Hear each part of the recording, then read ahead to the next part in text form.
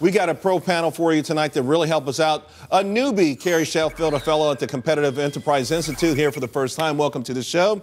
Also, our friend Jim Frischling here to help us out uh, from, from NewOak Capital, uh, Hitha Prabhakar. They always come down uh, faster than they go up, Jim, and that's something that a lot of investors have learned the hard way. I love when they come down. I kind of hate the water torture thing, but it is scary. It's like a, one of these roller coaster rides, and when you're in the midst of it, it feels frightening. No, I think uh, you, you, nailed it with yesterday's rally was Fed fueled, uh, and Matt, you commented and you nailed the things. Germany uh, clearly, you know, they talk about if China sneezes, the world catches, you know, the flu. Germany is the is, is the big dog in Europe. They're having a hard time. Ebola issues. It shifted from Fed and earnings and, and into global concerns, and particularly in Europe. And I think that that weighed heavy. So investor sentiment was just negative. And again, I think the selling's overdone, uh, but but that's what was were going you, on. Were you buying? Uh, I'm, you know, having having some dry powder and looking at this market because I'm not sure where we stop. But I'll tell you, I believe the market is going to grind higher, and we're going to talk about some things about what's grind gonna, higher. It's going to grind higher. But Charles, what about the fact that now let's face it, the private sector, unlike the government, got smaller during the recession because listen, they can't rate your coffers, they can't rate your sofa cushions, and for that reason they survived, but now they're thriving. And the more, well, I think there's more room for exp- expansion. I think they will get some pricing power, but James, uh, a lot of observers are saying that's it. They've cut fat bone, muscle. There's no more cutting. Profit margins are going to start to contract, and that means stocks go lower.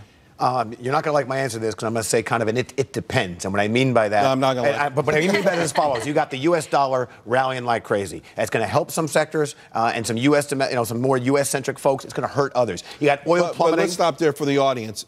Most of the large, big names that we know, a large, and we did this on the show uh, yesterday, the S&P 500, 52% of their profits come from outside of this country. So for the most part, the strong dollar is going to hurt the market. And that's why I said it's going to be an it depends because most of these multinationals are going to be hurt by this because it's going to make the demand for their products weaker from our, from our from the non-U.S. dollar uh, folks. Right. And so that's going to be a negative. Oil coming down is going to be a negative for the energy stocks, and the global economy is going to hurt a lot of these folks. So net net, I think companies always talk down the. But their margins can margins expand from where they are now in your mind? They, yes, they can. They can. They what can. Do you, what do you think, Ethan? Sorry. Good. Well, I think I'm more a little bit more concerned about the developed world sitting on their hands. Oh, I don't know. I, I or resting on their laurels. Uh, true, but look, I actually do think the recovery is, is it's slower than people want, but it's underway. Wages slower, they're, they're not increasing the speed people want, but increasing. Demand for some high-end jobs hard to fill. So actually, I'm a little more bullish right now on, on the developed on America. side, and particularly on what on, about, on, not on Europe. America. Though. No, not in Europe, and on the emerging market side, they're trading at much lower valuations, but a lot more risk.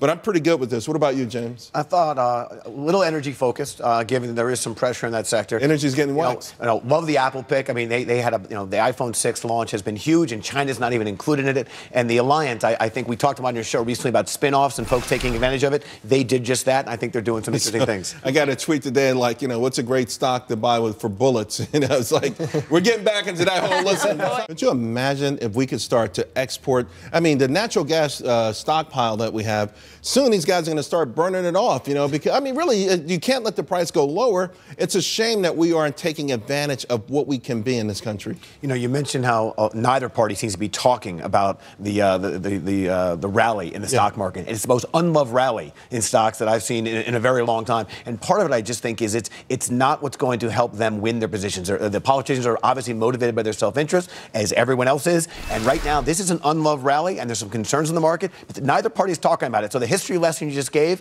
it's a guide. It's not a guarantee. Not, if the Republicans did uh, seize control, and I'm getting a little nervous with the, some of the recent polls, but if they did, uh, what do you think that, that, they would do that could spark the market? Like, it, uh, you know, listen, I know maybe um, we want them obviously to try to do some things with Obamacare. They're not going to junk it, and, but, but if you can retool that in a certain way.